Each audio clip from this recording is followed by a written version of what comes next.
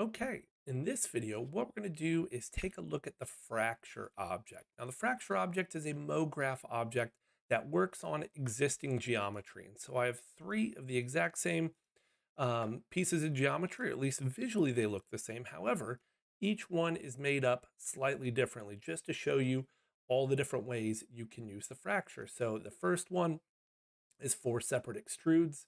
The second one is four separate polygons objects.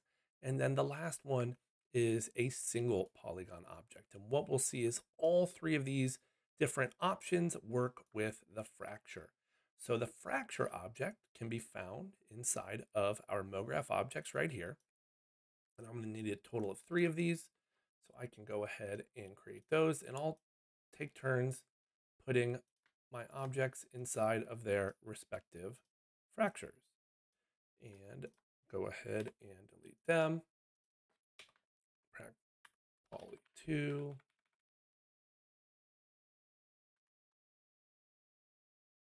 And this one is for extrudes, or it would be if I could spell. All right. So that's the first step here is to create your fracture object to put your pieces of geometry, whether they're extrudes, whether they're polygon objects or a single polygon object inside.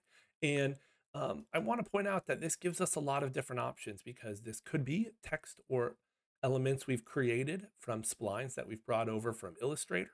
This could be geometry we made in Cinema 4D uh, that we couldn't make with, uh, say, a cloner, although we could have made this particular setup with a cloner, or this last one could just be, you know, a downloaded model or some other asset that was given to us, and we want to try to use um, MoGraph on it.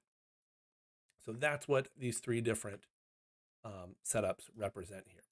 And what I will do is create a plane effector. Make sure I have um, that. And then with my fracture objects selected, go ahead and switch to the effectors tab and drag in our plane effector. And I can see that got applied to all three because they all kind of jumped up a little bit. You can see that right here. Uh, so that's a good start, but we really can't tell what is happening here or if it's working on the individual pieces until we add in a field. And to keep things simple, I will add a linear field as I typically always do. And now we can see right away that this is working on the individual pieces. I'm going to switch to the parameter tab here and uncheck position. Let's try rotation and scale for this one. So um, we'll do heading rotation, say 90 degrees. Uh, you, um, I do want uniform scale. I'm going to set that to negative one. And actually switch the direction of this um, as well, from positive x to negative x, so that as I pull these through, they rotate and disappear. And that is exactly kind of what we're seeing here, at least for the first two. We're seeing that the fracture object separates these into individual pieces. Okay.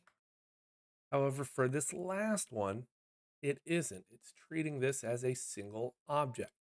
And that is where, in the fracture object, in the object tab, some of the different modes start coming, coming into play here. So the first is explode segments. And when I did that, notice how my Phong shading changed on this. Now you can go into your Phong tag and fix it. I won't focus on that here, um, though it is pretty straightforward. Um, but now oops, when I do this, it's treating them as individual pieces. Now, if we look really close, we may actually see it start to split them up. Um, so that can happen. Let's see if we can kind of force the case there. No, not really being able to do that. So you might see, especially depending on how you create an object, where um, you know, kind of the front bevel or a front cap uh, gets separated from the rest of this. And if that ends up happening, that is where the explode segments and connect option comes in, as it will then, after it splits everything up, try and weld things back together. Okay. So for our purposes today, that is not making a difference whether we do explode segments or explode segments and Connect. Um, a lot of that has to do with uh, how Cinema 4D kind of changed how their objects work. A lot of them are the pieces are connected now, whether it's a cylinder or an extrude. The um, caps and bevels now all end up uh, being a single piece, which makes our lives a lot easier. So that is a look at the fracture. Why don't we go ahead and fix our shading issue with our Phong angle here as well. So typically it's just reducing this Phong angle now to um, something a little bit lower. Now you want to be careful, okay, because you don't want to turn it too low, in which case you'll get no smoothing whatsoever. So 40 is typically a good value to start with. 60 was uh, just a bit too high here, and what was giving us kind of some of that strange smoothing on the sides there. So 40 looking pretty good. And if you want to check it, we can just kind of toggle this on and off to see if, how much of a difference it's making. Still making a little bit of a difference. So we may want to adjust it just a bit further. That's still much better and much closer. So that is a quick look at the fracture object and the three different ways we can use it, whether it's on extrudes with splines in them, whether it's with uh, multiple polygon objects, or even a single polygon object.